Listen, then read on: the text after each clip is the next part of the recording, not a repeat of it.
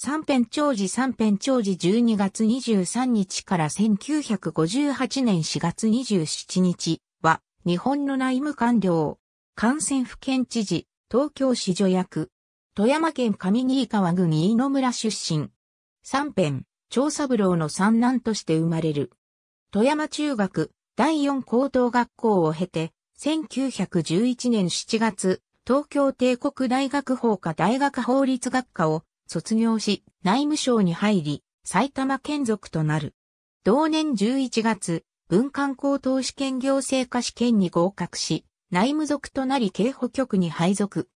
その後、大正3年に愛媛県史学館、大正5年に大阪府史学館、大正8年に内務省地方局事務官となり、地方局市町村課長、都市課長、行政課長などを歴任。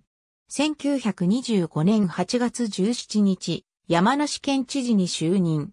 その後、徳島県、岡山県の各知事を経て、1929年7月、内務省土木局長となる。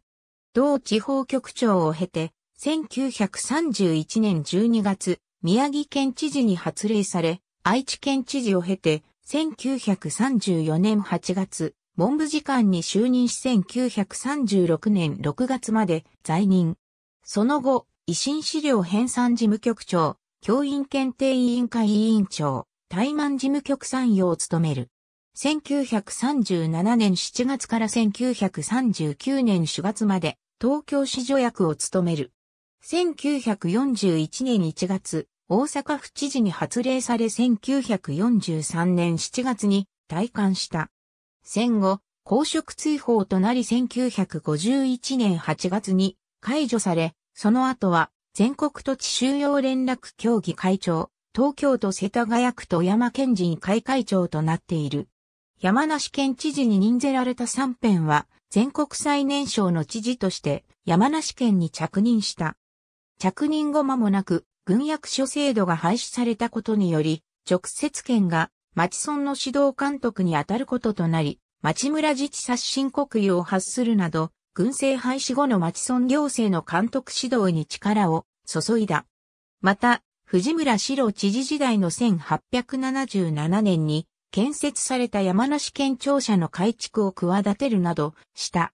選挙法改正後の選挙実施にあたっては、内務本省在任中の研究菓子を成したことも多かったという。また、山梨県内産市会の得意性から、県庁農商課から産子担当を分離して産子課を新設するなど、産子行政の刷新を企画している。ありがとうございます。